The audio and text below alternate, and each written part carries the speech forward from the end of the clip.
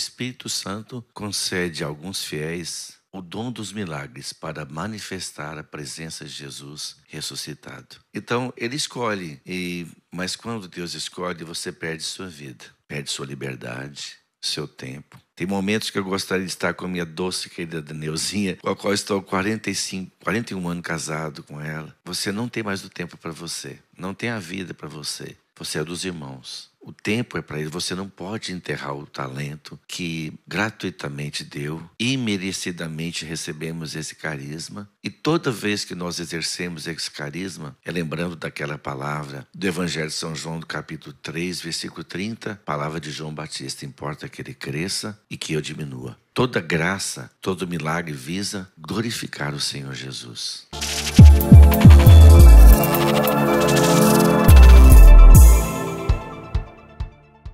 Sejam muito bem-vindos a mais um podcast do Arsenal Jovem. Gente, hoje eu tenho a alegria de receber aqui como convidado esse querido amigo, irmão, pai também, porque nos aconselha, nos orienta. Ele que é esposo, pai de três filhos, avô já de sete netos, um grande missionário com dom extraordinário de cura.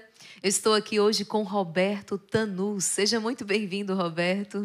Irmã Maria Raquel, uma alegria estar com a senhora. Eu também admiro muito o seu ministério, carinho muito grande. E faço parte da família Hesed, né? Me sinto aqui como da família de vocês. E que tudo seja para a glória de Jesus, que na sua misericórdia escolhe os pequenos, né? Eu já um dia eu falei assim para Jesus: Olha, Jesus, se eu fosse o Senhor, eu não me escolhia.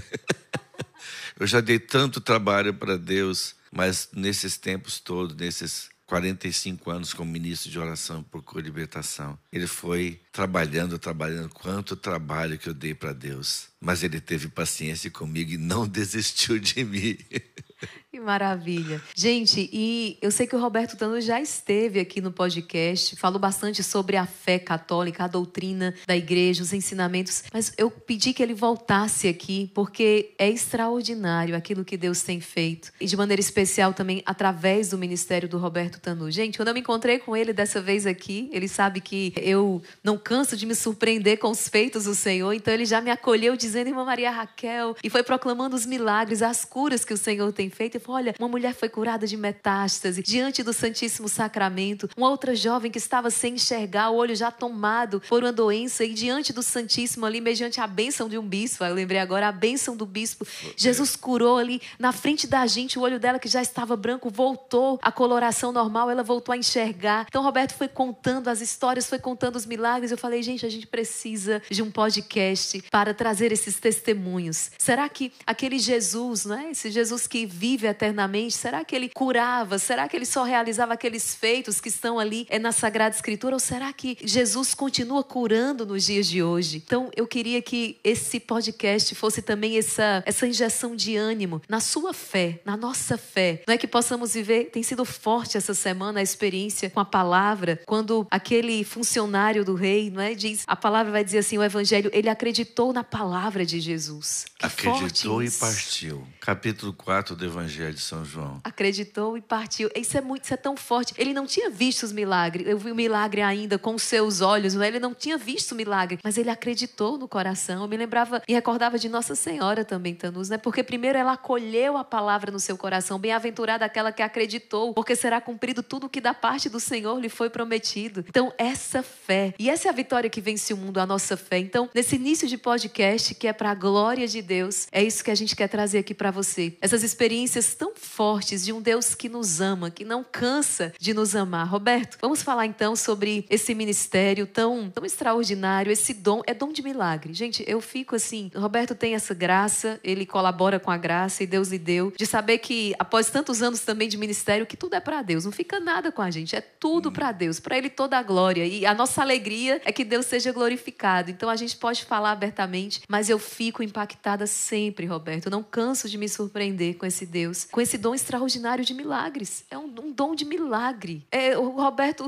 eu, já faz parte da rotina dele ver paralíticos andarem, cegos enxergarem, mortos ressuscitarem. Fala um pouco pra gente sobre essa experiência, Roberto. Como é viver, viver isso no seu dia a dia, ver essa manifestação do poder de Deus todos os dias na sua vida e na vida de milhares de pessoas através de você também. Interessante, o catecismo da Igreja Católica, parágrafo 1508, fala assim: o Espírito Santo concede a alguns fiéis o dom dos milagres para manifestar a presença de Jesus ressuscitado. Então, ele escolhe, e, mas quando Deus escolhe, você perde sua vida, perde sua liberdade, seu tempo. Tem momentos que eu gostaria de estar com a minha doce querida Neuzinha, com a qual estou 45, 41 anos casado com ela. Você não tem mais o tempo para você, não tem a vida para você. Você é dos irmãos. O tempo é para ele. Você não pode enterrar o talento que gratuitamente deu, imerecidamente recebemos esse carisma. E toda vez que nós exercemos esse carisma, é lembrando daquela palavra do Evangelho de São João, do capítulo 3, versículo 30, palavra de João Batista: importa que ele cresça e que eu diminua. Toda graça, todo milagre visa glorificar o Senhor Jesus. Roberto, você falava aqui e me vinha, como é que tudo isso começou? Né? Quando foi o início dessa manifestação, desse, desse carisma, desse dom? Você se recorda o início de tudo Sim. isso? Eu comecei viajando com meu coordenador, eu sou de Goiânia, era o Sebastião Bernardino da Costa, que inclusive foi por muitos anos presidente do Conselho Nacional da Renovação Carismática Católica. Eu já no primeiro ano, eu entrei no final de 77 na renovação, 78, eu já li, havia lido a Bíblia três vezes e a boca fala do que o coração está cheio. Já em 79 ele me chamou para viajar com ele para pregar. Eu fiquei admirado demais com aquele homem que orava com palavra de ciência e dizia: Em nome de Jesus, levanta você que recebeu essa cura. Me lembro de uma senhora surda que ele ordenou que, em nome de Jesus, ela levantasse. A mulher começou a gritar surda de nascimento. Lembro de uma outra senhora cega. E aquilo é, foi impactando meu coração que eu vi. Ele usava muito a Bíblia, um testemunho de vida de homem reto, dire, direito, correto. Ele usava a palavra, ele levava para a Eucaristia. Eu me lembro que a maioria das orações que ele fazia era diante do Santíssimo Sacramento. Ele foi o meu primeiro formador. E outro formador também que me, me, influenciou demais na minha vida, que eu conheci, foi o Padre Jonas, em 1978. Também foi outro mestre na fé de orar pela cura e usar a palavra. E isso foi muito bom para mim, porque eu vi em pessoas humildes, simples, que Deus usa os simples.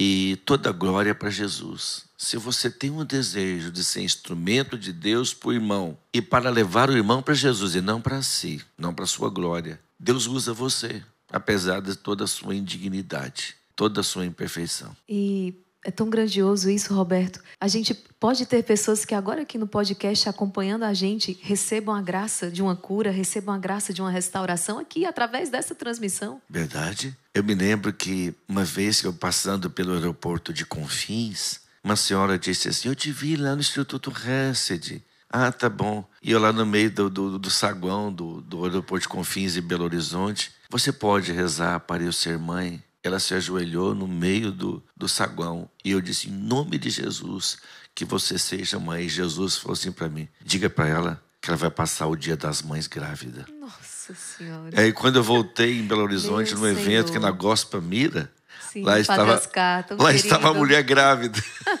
Ai, que sou eu. Eu o dia das mães, ó, grávida, né? Roberto, não estava não tava no script, não, mas a gente podia rezar agora por quem está aqui nesse podcast, no início desse podcast, para que se abra a graça de Deus. Porque Deus não nos reúne aqui para que a gente perca tempo, mas nos reúne aqui para que elevemos o nosso coração até Ele e possamos, como está na palavra, proclamar Amém. depois: hoje nós vimos coisas maravilhosas. Se porque a cura é atemporal a pessoa pode pegar esse podcast muito tempo depois, mas a unção que cura está ali. Eu te peço, Jesus, que o Senhor toque essa alma, esse coração e realize um milagre nessa vida que só o Senhor pode fazer. Toca, Jesus, as doenças incuráveis, mas toca principalmente, Senhor, nas pessoas que precisam recuperar a alegria, a fé na vida.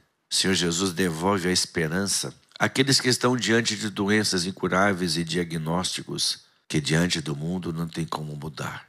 Senhor Jesus, que através desses momentos, junto com a irmã Maria Raquel, que o Senhor possa curar e libertar. Eu creio. Em nome de Jesus, se você ficar até o final conosco, o Senhor vai ter uma surpresa para você. Silenciosamente, Deus age simples, de uma forma simples, mas silenciosamente e amorosamente, em nome de Jesus, você vai ser tocado, você vai ser tocada. Sim, eu creio na palavra de Jesus. Bendito seja Deus. Nos constrange, nos emociona esse amor do Senhor, não é? E Roberto, mas eu sei que nem tudo no caminho do profeta de Deus, do homem de Deus, são flores, tem muitos espinhos. Me vem ao coração também a história do Roberto ainda bebê, lá o nascimento. Aquela caixinha de sapato que você sempre conta. Vamos partilhar aqui com as pessoas, porque é, Deus tem um plano e o inimigo ele toma conhecimento até onde Deus permite também e começa uma perseguição a gente também quer trazer nesse podcast essa perseguição que o homem de Deus sofre, né? Que eu sei que você em casa aí também, quando se decide por Deus e, e, busca fazer a vontade de Deus, a perseguição também vem sobre você e a sua vida. Então, faz parte da história, da vida do homem, da mulher de Deus, essa perseguição. Mas desde ali, desde o ventre materno, desde o berço, né, Roberto? Deus escolhe os pequenos, né? É, a minha mãe estava grávida de mim, eu sou o quarto filho. Morava em Minas Gerais e houve uma seca na região e perderam tudo. Meu pai minha mãe, com meus três irmãos, Reginaldo, que tinha quatro anos, Regina, dois, diferente de dois anos, cinco, três e um. E o Ronaldo, meu irmão, mais acima de mim, um ano de idade. Reginaldo, Regina, Ronaldo, Roberto. Lá era tudo com R. Tanto que quando a minha avó ia chamar o Reginaldo Roberto, vem cá, porcaria. Errava o nome de todo mundo. Então minha mãe teve que mudar para, para Goiás sem nada. Uma casa simples, só um fogão a lenha. E meu pai é, é, conseguiu um trabalho de caixeiro viajante, que era representante comercial. Ele viajava para o norte do país. Quando a Belém Brasília, essa rodovia que corta de, de norte a sul, de sul a norte, nem pavimentada era. E meu pai, quando ele chegava numa viagem para vender, chegava numa cidade e não conseguia, ele tinha que passar por cidade mais distante. E o tempo de ausência ia aumentando em casa. E os bens de primeira necessidade iam escasseando. E você sabe como é mãe. Mãe é capaz de privar-se do mínimo do mínimo para não deixar um filho passar fome. Então, minha mãe, quando via que o alimento estava escasseando, nunca chegou a acabar, mas diminuía. Então, ela dava de comer para os três pequenos, meus três irmãos, e esquecia-se de si mesma grávida. Ela lembrava que ela estava grávida, que tinha que ter alimentado. O que, que ela fazia? Ela punha a mão no ventre e, disse, e dizia: Nossa Senhora, alimenta meu filho no, no meu ventre. Perto de dar à luz, ninguém acreditava que ela estava sequer grávida. Ao invés de engordar, ela emagreceu. Lembro da minha tia que gente chamava de Dindinha, né? Ela era madrinha da minha irmã do meio, da minha irmã logo abaixo. Mas como ela chamava ela de Dindinha, todo mundo chamava ela de Dindinha. Ela era muito boa costureira. E ela trouxe de Minas Gerais uma peça de pano para refazer o enxoval, já que eu era o quarto. O enxoval tinha se perdido. Então, tudo na máquina de costura, daquela de pedal. É... e quando ela refez o enxoval, sobrou um pedaço de pano. E esse pedaço de pano, ela fez uma blusa pagã. Sabe o que é blusa pagã? Aquelas blusas é, carequinha, sem manga, que cabia na boneca da Regina, minha irmã. Quando eu nasci, nasci de nove meses, eu era tão pequeno que eu passava pela gola do enxoval. Eu nasci no dia 12 de agosto de 1957. Eu fui batizado no dia 20 de outubro de 57. Mais de 60 dias. A blusa, sabe qual foi a blusa que me serviu para ser batizado? A da boneca da minha irmã Regina. Porque minha mãe dizia que eu era tão pequeno, nasci com bem menos que dois quilos. Ela me colocou numa caixa de sapato na beirada do fogão a lenha. Ali foi a primeira estufa que eu tive. Mas eu nunca esqueço que minha mãe me levou lá em Goiânia, na igreja Imaculado Coração de Maria. Eu fui batizado na igreja Imaculado Coração de Maria em 20 de outubro de 57. Eu fui colocado bem pequeno no coração de Nossa Senhora. E a inteligência que eu tenho, eu sei a Bíblia de cor, tenho uma memória fenomenal. E eu sei que tudo que eu tenho foi presente de Nossa Senhora. Por isso eu não posso me orgulhar de nada. Eu sou apenas um pequeno filho de Nossa Senhora. Bonito, Roberto, também, porque Lembrava até daquela música, faltava tudo, não é? Mas a gente nem ligava, porque o importante não faltava. A sua mãe não tinha sequer o básico ali, o alimento, para poder é, alimentar-se, nutrir aquela criança, mas que fé, coração cheio de fé. Outro dia, o Tite também vinha aqui, Roberto, testemunhar. Ele dizia quantas vezes, o Tite, né, o jogador de futebol hoje no Fortaleza, um grande abraço, um grande amigo também, filho da casa. Nome de Deus. E ele dizia quantas vezes a gente ia à noite ali próximo a dormir e mãe, tô com tanta fome. Ela dizia, filho, faz o sinal da cruz e bebe água e vai dormir. A fé das nossas mães e transmitir é o maior tesouro, que maior herança que um pai pode deixar não é para um filho, senão esta fé. Então bendito seja Deus, porque o maior tesouro foi confiado, a, a fé, não é? E essa consagração imaculada do coração de Maria. E Roberto, é, então ali já as dificuldades no primeiro momento, mas aquela criança cresceu, se desenvolveu, adolescente, jovem, nem fui sempre foi um homem de Deus, não, né? Fui pelos caminhos do mundo. Isso aqui é importante falar, porque quem olha hoje fala, nossa, Roberto, com o dom, com dom, os dons que ele tem, os dons carismáticos, os dons de milagre, já nasceu santo, já sempre foi santo. Gente, tem uma história aí difícil para você ver como Deus, ele sabe trabalhar com a gente. Roberto dizia para minha irmã, eu posso dizer que um dia essa característica foi minha. Fui mulherengo, um tanto quanto devasso. Então, ouve essa história aí, partilha com a gente, Roberto. É verdade. Eu fui para o mundo como jovem, né?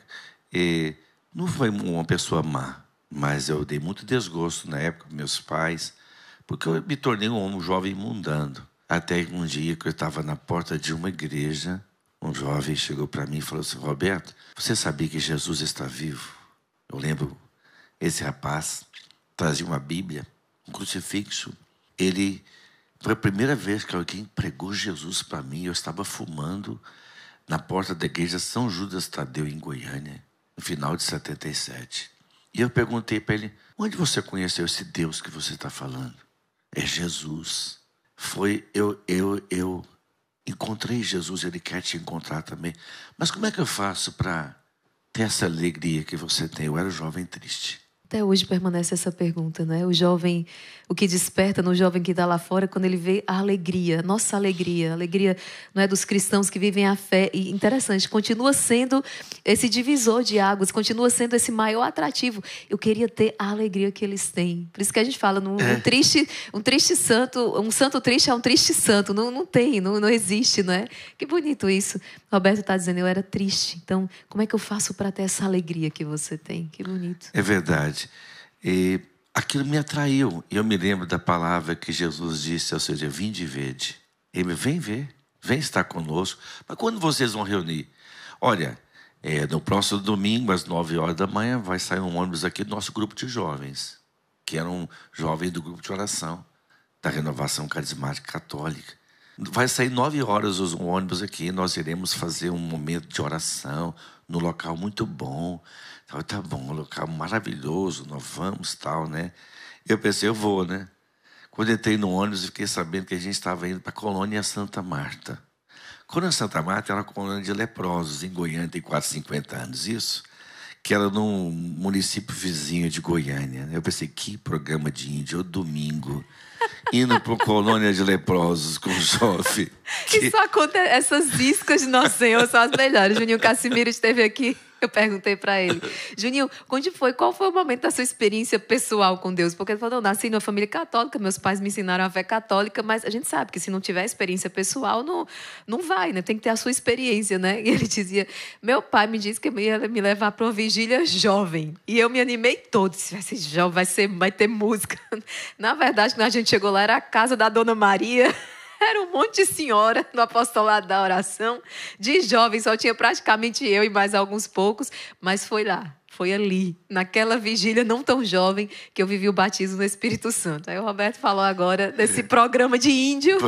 Mas, e naquela época, isso tem quase 50 anos, a Colônia Santa Marta tinha o preventório, o hospital, e em volta se fez um vilarejo com as pessoas que foram cuidadas e abandonadas, porque naquela época a ranceníase, a lepra, ela causava horror. E a gente, aqueles jovens iam tocando violão e cantando, e eu atrás, né? Mais perdido do que cachorro que cai de mudança, né? E, é, eu estava mais sem graça do que cachorro que embarca em canoa. E eu estava ali naquele sem graça. E eu lembro que eles iam tocando violão, falando de Jesus. Aquilo para mim era novo. Eu falava de Jesus. Eu falava um homem lá de cima. De repente, um dos internos da colônia de Santa Marta disse assim: Vocês conhecem o João Batista? Eu também tive um João Batista na minha vida. É o homem mais alegre de toda a colônia. Ele está lá no preventório. O preventório, naquela época, um lugar simples. Era, um, era coberto, mas não tinha fogo. Era um, quarto, era um corredor comprido, quarto de ambos os lados, não tinha forro, só tinha cobertura. O quarto de João Batista era o último. Eram pessoas que eram solitárias e tinham que ser cuidadas, que recebiam um cuidado especial. Os jovens com violão entraram no quarto do João Batista porque queriam conhecer o homem mais alegre da colônia Santa Marta. E aquela alegria quando chegaram lá, mas só se fazia ouvir a voz de João Batista. João Batista era um perfeito contador de casos engraçados. Ele começou a falar com uma voz forte, uma voz grossa, né? De modo que os outros dos outros quartos, opa, o João Batista vai contar mais história. Eles também conheciam a alegria dele. E foram no quarto dele, ficou apinhado de gente. E eu fiquei do lado de fora no corredor. Dava para ouvir a alegria autêntica dele. Eu me lembro que ele pediu o violão emprestado do Carlim, que eu mesmo que tinha me convidado lá na porta da igreja São Judas Tadeu.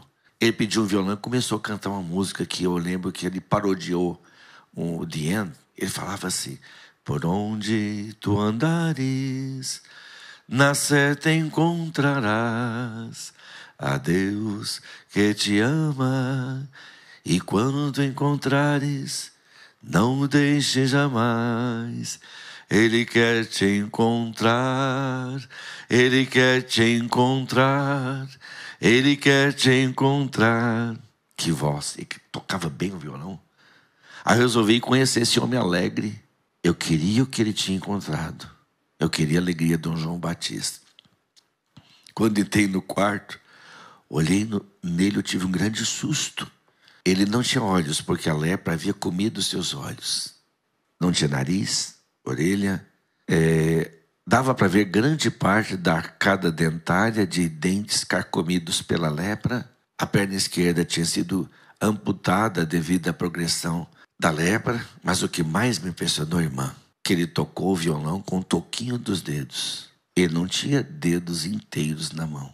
E eu virei para ele e disse: Cara, você é muito alegre.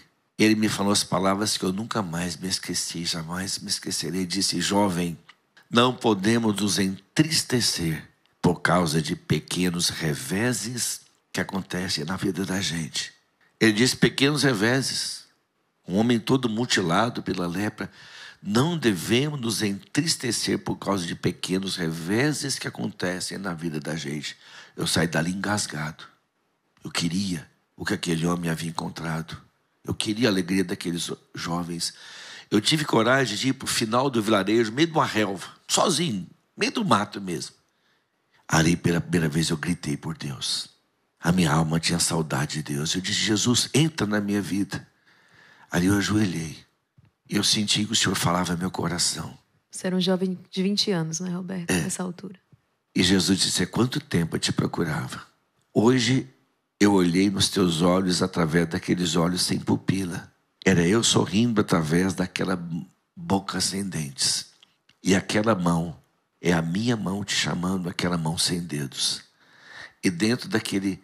Eu nunca esqueci daquela palavra que Jesus disse: Se doente fostes me, eu encontrei Jesus num homem sem aparência, mas que tinha Deus. E dentro daquele quartinho daquele homem mutilado pela lepra, morreu o homem velho. Eu encontrei a alegria do João Batista, que é Jesus. Gente, que extraordinário. Eu fiz questão de frisar né, os, os 20 anos aqui, porque eu sei que tem uma juventude acompanhando a gente agora, né? E como aquela decisão lá atrás, aquela experiência lá atrás, foi o divisor de águas, foi o que conduziu então, a partir de então, Roberto até aqui, a chegar até aqui. Que história linda! Uma família, casado, filhos, netos, missionário, mas uma decisão lá atrás, aos 20 anos de idade. Eu sou um jovem triste, eu preciso, eu quero encontrar aquela alegria.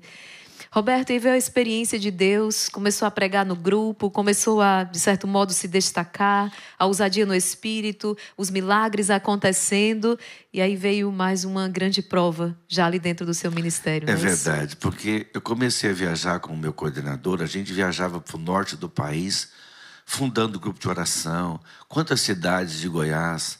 É, 79 nós começamos o primeiro grupo de oração na cidade de Umas, Cristalina Lusiana, em 1980.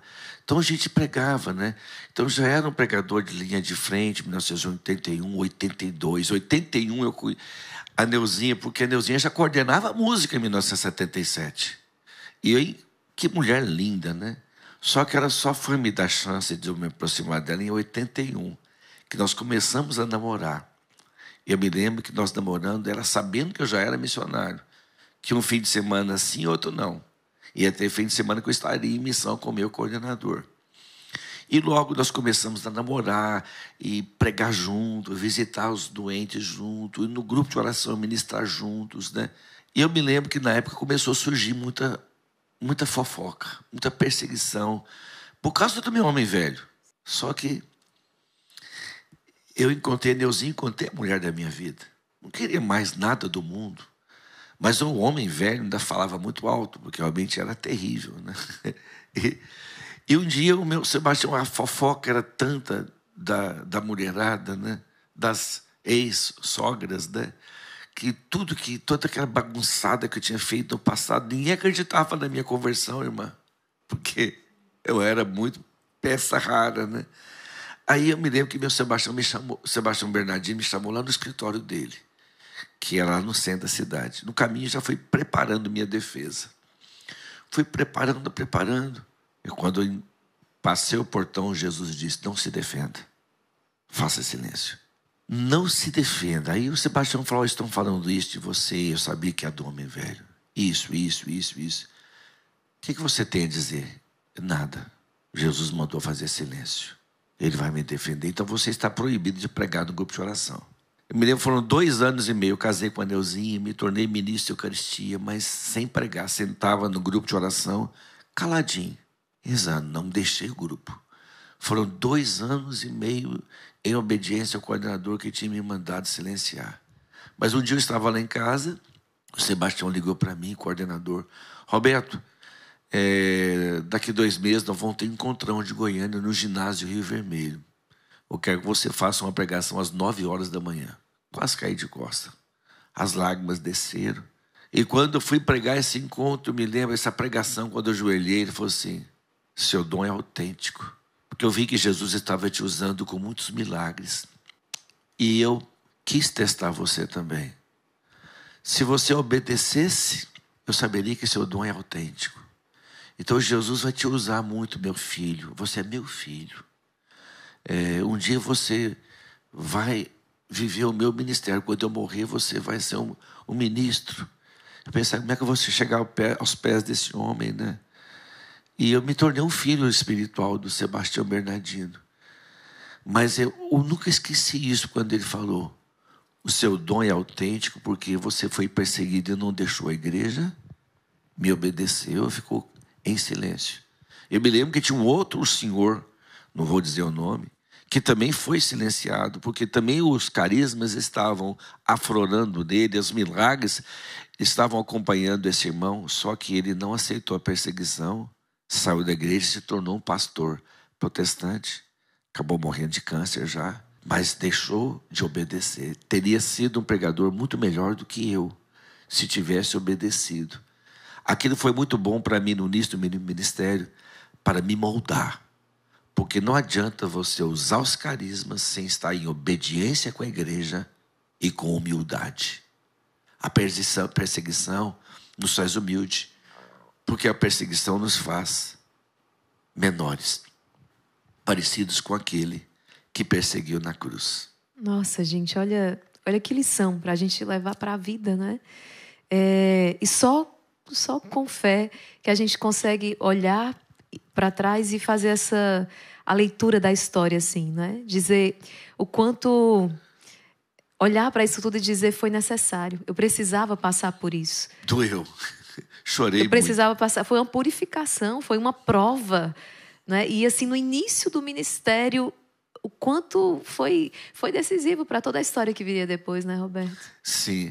E depois o Sebastião me chamou para eu constituir, constituir a minha própria equipe de pregação.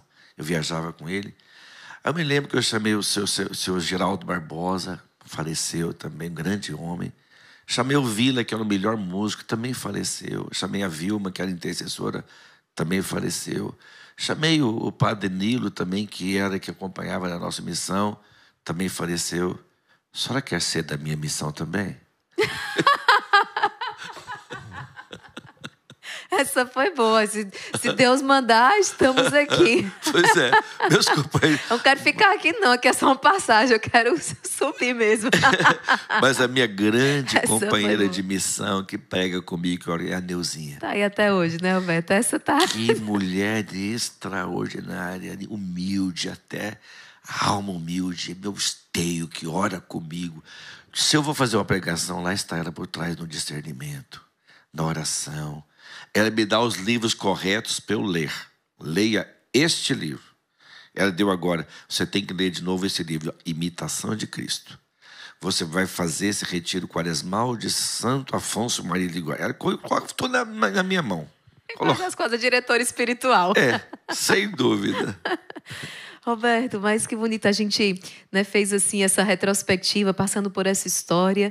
E vamos, vamos chegar aqui nos milagres, então, naquilo que Deus tem feito através desse ministério. Gente, queria que o Roberto partilhasse um pouco. Ele estava aqui, a gente se preparando para o podcast. e a irmã, vamos começar, vamos começar, porque a gente estava aqui conversando e eram não é, tantos testemunhos. Vamos partilhar com quem está em casa. Deixa eu partilhar, foi que eu até contei para a senhora que aconteceu essa semana. Eu, fui, eu, eu tenho feito muito assim, irmã é noite de oração por cura e libertação, segunda, terça, quarta, quinta, que dá mais resultado do que um final de semana. E essa semana fiz duas noites em Unaí, Minas Gerais, e duas noites em Paracatu. Paracatu foram quinta e sexta-feira, dia 29 e dia 1 de 29 de fevereiro, 1 de março de 2024. Então, quando eu cheguei na cidade, Paracatu é chamada a capital da quitanda minha amiga, o pão de queijo é diferente. Eles fazem um pão de queijo recheado com carne seca. E lá tem, e quando eu fui, uma pessoa muito amiga disse: Roberto, a dona Ângela, que é uma das principais quitandeiras, que tem aquela casa que tem quintal bem grande, com flor, flor é, árvore frondosa, tinha arrumado aquela mesa imensa com quitanda, né? Aquela mesa, irmã, que se você começar de um lado, você não pode chegar do outro lado, senão você volta 10 quilos mais gordo, né? E quando cheguei lá, estava também um bispo, que eu vou até dizer o nome, porque é um bispo emérito maravilhoso, admiro, um grande homem de Deus, Dom Leonardo, que é o bispo emérito de Paracatu. Logo nós chegamos, a dona Ângela disse assim: A minha filha nasceu com catarata congênita. Ou seja, nasceu cega, de um dos olhos era branco os olhos, e o olho esquerdo está ficando cego. E a principal ajudante dela é a filha. Eu pedi ao Dom, ao Dom Leonardo, eu chamo ele de Donzinho, porque é um grande homem pequeno, maravilhoso, uma inteligência esse homem, e até hoje ele percorre a, a diocese inteirinha de Paracatu, dá 300 quilômetros, vai incansável, com 88 anos de idade. Um homem de Deus, mas um homem de Deus mesmo. Amo esse, esse bispo. E eu pedi para ele dar a bênção. Ele colocou a mão, todo bonitinho, na filha da dona Ângela e deu a bênção. Fez o sinal da cruz e pôs as mãos. Olha que só assim de lado, Jesus falou assim, por causa dessa bênção sacerdotal, ela vai enxergar agora. E eu disse, olha aqui para mim, em nome de Jesus, ordeno que esses olhos se enxerguem. O olho que era branco, imediatamente na frente do bispo, ficou normal e a mulher passou a enxergar de ambos os olhos. E eu fui fazer a primeira noite de oração em Paracatu. Quem deu testemunho já ela curada por Jesus Cristo, por causa. Olha o que é uma bênção sacerdotal, irmã. Uma bênção. Só que a bênção, você tem que proclamar um milagre. Porque não adianta a pessoa receber uma bênção se a pessoa não tomar posse da graça. Aí Jesus mandou, por causa dessa bênção sacerdotal, esses olhos vão enxergar. Então foi essa semana agora. Incrível. Roberto, não sei se a pergunta está formulada de maneira correta, mas você acha que você vai entender, porque pode ser também a pergunta de quem está em casa.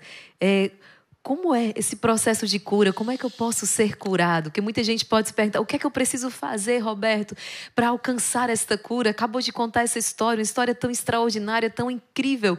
Como é que, como é que eu faço para ser curado por Jesus? Eu vou dar um testemunho que aconteceu na cidade de Catanduva. Tem muitos anos, uns 20 anos talvez. E eu estava num ginásio, umas 800 pessoas mais ou menos, e uma mulher numa cadeira de rodas. Aí Jesus disse: ordena que ela se levante em meu nome. Eu quero que você ore com ela. Porque eu, são 45 anos, a senhora sabe, eu conheço a voz do meu Senhor, do meu pastor. Eu me lembro quando Gabriel tinha 5 anos de idade, ele ouviu uma palavra. Nós sempre tivemos oração em família. Meu filho Gabriel Caçula é um grande pregador. É advogado, fez mestrado em ciência da religião. Ele mora em Santa Catarina, tem uma filhinha casada, um homem de Deus. Mas desde pequeno, Gabriel tinha algumas coisas diferentes dele. A gente fazia oração junto. Aí um dia o Gabriel, a gente orando em língua junto, cinco anos de idade, ele disse: Pai, Jesus me falou uma coisa que eu não entendi, não. O que foi? Minha mãe é santa porque meu sangue estava nela. Olhei para o pequenininho. Era o dogma de Maria concebida sem pecado, por conter em si o sangue da cruz. Eu falei, Gabriel, como é que você escuta a Deus? E Gabriel, nunca esqueci. Gabriel disse assim: Pai, quando Jesus me fala, ele não me fala aqui, não. Ele me fala aqui. E vai subindo, vai subindo, vai subindo e me dá umas ideias aqui. É a melhor explicação de como escutar a é, Deus. É igualzinho acontece comigo, né, Roberto? Você é. pensou, é desse jeito. É. Aí ele explicou com as palavras, eu nunca esqueci. Aí Jesus falou ao meu coração, ordena que ela levante. Eu peguei o microfone na frente das 800 pessoas em nome de Jesus, levante e anda. A mulher fazia força na cadeira e não levantou. E aí ela perguntou assim, bem alto: por que, que eu não me levantei? Eu pensei assim: agora que a porca torceu o rabo, eu vou saber por que, que um bicho daquele tamanho, um porco, tem um, aquele cordãozinho enrolado, né? Não é igual o, o, o cavalo que tem a, aquele o chicote, aí fica abanando o mosquito, não é coitado dele, não. É que. Né? O que, que eu vou explicar para ela, né? Aí olhei para o Santíssimo, Jesus, e aí? Eu só queria que você orasse. Você me obedeceu. Mas o que, que eu respondo para a mulher? Silêncio. Virei para a mulher, olha, eu obedeci a Jesus, eu orei. Eu pedi um milagre. Mas a senhora não andou por causa da minha falta de fé. Mas eu obedeci a Jesus. Fui embora bem amarrotado. Mas aquela lição ficou no meu coração. Passados que foram uma semana, o coordenador da cidade, lembra o Eric. Roberta, a mulher foi no grupo de oração andando sem a cadeira de roda. A Edeuzinho sempre foi aquela mulher firme. Quando mulher levanta o dedo, você está perdido. Ó, oh, pode prestar atenção. Parece uma espada de São Miguel. Quando a, quando a mulher faz isso aqui, né? Vai lá ajoelhar, escuta o que, é que Jesus quer dizer. Escutei o Senhor e falei, Jesus, o que o Senhor quer dizer para mim? Eu sou o Senhor Sempre que você orar, ore e não espere os resultados. Eu que escolho quando a pessoa vai ser curada e por que vai ser curada, ou se ela não vai ser curada. Mas eu quero que você ore quando eu mandar. Aí eu tentei argumentar: não, Jesus, mas o senhor podia ter curado aquela mulher lá para todo mundo te glorificar. Aí Jesus falou assim: eu não curei para você não ficar vaidoso. Toma! Tem mais uma da Neuzinha que eu gostaria de falar também. Ela, ela é sinceridade em pessoa. Eu chamo a Neuzinha de minha doce Neuzinha. Só que ela fala que é um doce de pimenta. Imagina a mulher brava. E brava, mas é maravilhosa. Eu me lembro que eu tinha chegado muito de madrugada numa missão difícil, cansado. Naquele tempo, a gente tinha um telefone fixo. Tinha um telefone na sala e a gente tinha um ramal no criado mudo do, da nossa cama para ligações urgentes. Ninguém ligava de madrugada. Pô, tinha até dó das pessoas, só coisa urgente. Atendia o telefone de madrugada. Eu lembro que era a dona Jerusa, lá numa cidade do interior do Pernambuco. E a Neuzinha dormindo feito um anjinho de pedra. E dormindo mesmo. E eu atendia a mulher bem bruta, bem grossa. A senhora sabe a hora que a senhora ligou? A senhora ligou agora, de madrugada? Não, porque eu estou com uma trombose, eu não consigo dormir, minha perna. Mas isso não é hora de ligar, não. A gente tem que descansar também. Eu, bem grosso. De repente, Jesus fala assim para mim: Você não é meu servo? Servo meu, chama a hora que eu quero. Aí as lágrimas começaram a descer. Eu falei para dona Jerusa: Desculpa, eu estava dormindo. Esquece o que eu falei, as palavras que eu falei. Eu me assustei. Vou orar com a senhora. Espera só me recompor. E as lágrimas descendo, e Jesus falou assim: Eu te chamo a hora que eu quero. Aí eu acordei a Neuzinha assim, falei assim: Bem, é, ah. Jesus disse para mim que me chama a hora que Ele quer. Ela falou assim: Chamou foi você, deixou dormir. é a Neuzinha. Figura. E a mulher foi curada da perna. A rezei com todo, a mulher foi curada. É ótimo. É, Roberto, mas eu, se eu não me engano, acho que é São Tomás de Aquino que fala a razão assim dos milagres, porque existe uma pedagogia também de Deus para com esses milagres que ele realiza. É, você falava para mim ainda há pouco nos bastidores, né? Tinham dois paralíticos. Jesus falou para você, num, num só encontro, eu vou curar um, o outro eu não vou curar agora. E quando curou aquele, as filhas que tinham dificuldade de crer em Deus imediatamente abraçaram a fé. Não curou aquele outro, Jesus dizia por quê? Porque o coração dele ainda não é meu. Se eu curá-lo agora, ele vai cair numa desgraça ainda maior. Então, existe uma pedagogia de Deus também em cada milagre que ele realiza. Ele chama aquelas pessoas à fé. É algo muito mais profundo, não é isso? Jesus cura para salvar. Na verdade, todas as curas, todas as pessoas que Jesus curou morreram. Mas aqueles que encontraram Jesus encontraram a vida eterna. No capítulo 17 do Evangelho de São Lucas, mostra que, ele, que os dez leprosos que foram curados no caminho, um voltou. Um ouviu essa palavra, tua fé te salvou. Os outros nove não foram salvos. E existem certas curas que Jesus faz que o resultado não é imediato. Basta nos lembrarmos de Marcos 8, 22 a 26 aquele cego que Jesus ora duas vezes lá em Betsaida. Jesus segura o homem pela mão, leva para fora da aldeia, põe saliva nos olhos, ora uma vez, ele vê os homens como árvores que andam, e ora uma segunda vez, ele vê distintamente de longe. Ou seja, existem certas curas que começam de uma forma interior. Jesus também curou em duas etapas aquele homem descido pelo telhado em Marcos 2. Teus pecados te são perdoados, depois levanta e anda. Então, Jesus, algumas curas ele não faz de uma vez. Ele faz, não que Jesus não tenha poder de realizar um milagre de uma vez. Nós é que não temos abertura. Tem coisas mais profundas a serem curadas em nós. Aquele homem cego mesmo, segurado pela mão, é uma das histórias mais bonitas de cura interior. Betsaida era uma cidade que, interessante, Betsaida, ela, na arqueologia moderna, ela tem dois sítios arqueológicos de dois quilômetros um distante do outro. Chegou-se à conclusão que Betsaida, porque Jesus disse assim, ai de ti Betsaida, ai de ti Corosaim, ai de ti Cafarnaum, porque se tivesse sido feitos milagres em Tiro e Sidônia teriam convertido. Então essas cidades foram cataclismadas, foram arrasadas. E encontraram a ruína de Betsaida.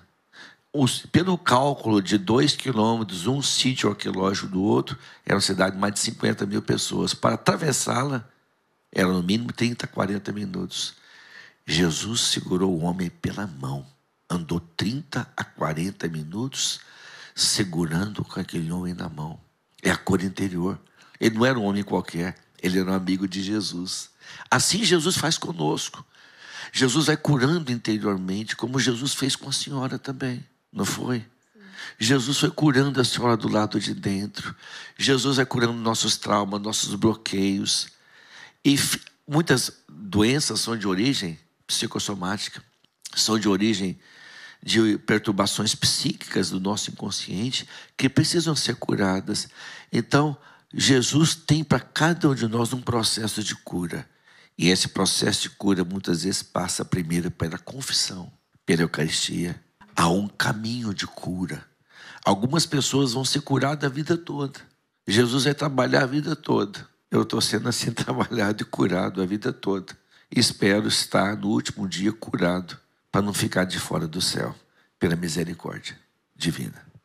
Eu me recordava da passagem de hoje do Rosário, na madrugada, João 5, né? Aquele homem há 38 anos, paralítico, ali na piscina de Betesda, esperando que alguém o levasse até as águas. E como foi forte aquela experiência hoje. Eu nunca tinha para, me, me assim, parado naquele versículo, quando Jesus pergunta: Você quer ser curado? Ora, o homem está paralítico, né?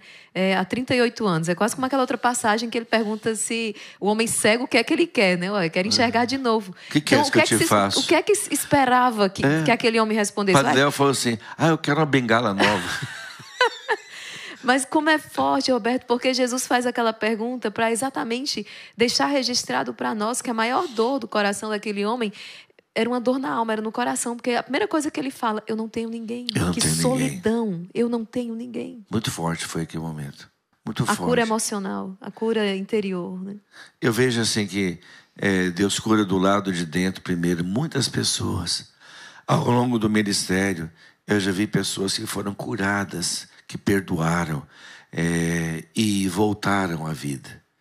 Eu me lembro que é, esse mês eu voltei a uma cidade chamada Nossa Senhora da Glória, sertão do Sergipe, onde está sendo construída um grande santuário da Divina Misericórdia. Lá tem a Colina da Misericórdia, que uma família, a dona Jane o pessoal de um laticínio chamado Nativille, um povo muito bom eles estão empenhados em construir um dos maiores santuários da Divina Misericórdia nesse lugar. O ano passado eu estive lá. E tinha um senhor que tinha uma síndrome de Guillain-Barré, que é uma síndrome que é parecida com a esclerose múltipla ou esclerose lateral. Há uma falência múltipla, é, a pessoa vai atrofiando tudo no corpo, vai falindo os músculos e órgãos. Ele já estava na cadeira de rodas. Mas me veio no coração que ele precisava perdoar. E ele, diante do Santíssimo Sacramento, eu perdoo. Eu orei com ele no ano passado. Aí na missa que teve, agora no final de fevereiro, que eu fui com a Neuzinha pregar lá, ele foi andando perfeitamente com a esposa, curado. Mas primeiro lá, um ano atrás, Jesus curou ele, pediu que ele perdoasse. A doença que em seis meses ele estaria morto veio andando normal, para a glória do nome de Jesus. Tudo começou com perdão. Eu disse: agora Jesus te curou. Você vai me encontrar andando em nome de Jesus. Eu proclamei, porque você perdoou. E a esposa dele falou que esse ano ele fez um caminho de conversão maravilhoso de Eucaristia, de confissão, de busca de Deus. Resultado, foi lá sem a doença, diagnosticado, curado. Não tem mais essa tal síndrome rara que atingiu ele. Foi curado. Mas primeiro, Deus começou uma cura do lado de dentro. Nossa Senhora. Antes de pedir ao Roberto, a gente já vai se aproximando do finalzinho do podcast, mas vou pedir ao Roberto, mais uma vez, que que ore conosco, né? A missão que Deus também lhe confiou, que reze conosco, sobretudo para que o Senhor venha curar essas feridas emocionais que, que trazemos, que carregamos conosco, seja por causa dos pecados que cometemos, seja por causa do pecado dos outros que deixaram marcas em nós profundas. Mas antes disso, ainda a questão da fé, Roberto. Como é, afinal? É, é, a fé é uma condição para ser curado. O Senhor vai falar que não realizou muitos milagres ali na sua terra porque eles não tinham fé, mas ao mesmo tempo, em outros momentos, Jesus vai realizar é, o milagre para poder suscitar a fé nos corações. Como é que, que é? O que é que vem primeiro? É, Deus nos ama mais do que nós amamos a nós mesmos, diria Santo Agostinho. A cura é iniciativa divina. Tem, tem muitas pessoas que falam assim: para ser curado, precisa ter fé, amar Jesus. Mas o último milagre de Jesus que ele fez no capítulo 18 do Evangelho de São João, Malco era assistente dos sacerdotes. Malco foi para prender Jesus. Ele era servo de Caifás. Ele, é, pelos estudos da tradição da igreja, ele seria um sacerdote. Quando ele vai chegando perto de Jesus para prendê-lo, Pedro arranca da espada e decepa a orelha de Malco, servo do sumo sacerdote. As pessoas não percebem o que aconteceu aí. O capítulo 29 do livro do, do, do Êxodo, que fala da unção sacerdotal, o sacerdote que ia ser ungido, quando ia ter unção sacerdotal, sacrificavam dois cordeiros. Um cordeiro para o povo e o outro cordeiro pegava o sangue do cordeiro, ungia a orelha direita do servo, o dedão, o alux, o dedão do lado direito e o dedão do pé. Porque qual que é o primeiro mandamento da lei de Deus? Não é chamar Israel, ouve. Então, o, o ministro o sacerdote tem que ouvir a palavra de Deus. Quando você aponta o dedo, o dedão está voltado para cima. Para você apontar o caminho de Deus, você tem que pisar os caminhos de Deus. Então, o sacerdote tinha que ser ungido na orelha direita. Qual foi a orelha que perdeu? A direita. E no capítulo 22 do Evangelho de São Lucas, porque São Lucas é médico. João não fala que foi curado, mas Lucas fala assim. E Jesus disse: basta e pega a orelha de Malco e coloca a orelha no lugar. Na verdade, irmã, Malco foi curado, Jesus devolveu os sonhos dele, devolveu a vida. Não foi só uma orelha que foi colocada no lugar. Malco estava no lugar errado, Malco estava com as pessoas erradas. Malco não amava Jesus, achava que Jesus era um malfeitor, era um impostor. Ele foi amado e curado sem merecer. Mas porque ele se aproximou de Jesus. Para ser curado, aproxima-se de Jesus. Bastou de se aproximar. Indigno, odiando Jesus, mas se aproximou de Jesus e foi curado. Então, para sermos curados, aproxima. Tem um momento de oração de cura, vai lá. Tem um sacerdote confessando, vai lá, cura. Tem uma missa, a Eucaristia, aproxima de Jesus, aproxima, sai de si. Então a condição para ser curado é aproximar de Jesus, mesmo com indignidade, mesmo que você não tenha nem muita fé, deixa que Jesus vai recolocar seus sonhos. Não foi só a orelha que foi recolocada no lugar, foram os sonhos de Malco que foram reconstituídos. Me parece, Roberto, que, hum, claro, isso aqui é uma meditação, uma reflexão que a gente está fazendo, né? Mas que às vezes, até mais do que esta fé, é a humildade. Jesus não resiste a um coração humilde. Quantas vezes a oração, muitas vezes pode ser essa. Eu já escutei isso de tantos jovens. Eu não consigo acreditar nesse Deus. Eu não consigo crer. Mas Deus, né? Se o Senhor realmente existe, me ajuda. Ajoelha. Na humildade, Jesus, eu não sou digno, mas eu quero me aproximar de ti. Um joelho no chão é humildade. Malco não merecia, mas Deus o amou ali, porque Deus viu o futuro da vida daquele homem. Deus viu que ele queria ser um sacerdote, viu que ele estava mal influenciado. Ele precisava conhecer o amor. No lugar de um homem que veio armado para prender, Jesus respondeu com cura. Então, se a gente vai desarmado, se a gente vai humilde diante de Jesus, com a alma desarmada e aproxima, nós somos curados imerecidamente. Mas lembrando que a maior cura que nós podemos receber chama-se vida eterna. É, os orgulhosos vêm muito entra em consonância com aquilo que o Senhor pregava. Né? Aqui, essa semana no Retiro Quaresmal, Herodes perdeu a grande oportunidade da vida dele. Perdeu. Né? Deixou a graça passar, o coração arrogante, o coração orgulhoso, e perdeu a grande oportunidade da sua vida. Ele poderia, Herodes, quando encontrou Jesus, ele poderia ter sido perdoado. Jesus foi até ele, né? Foi.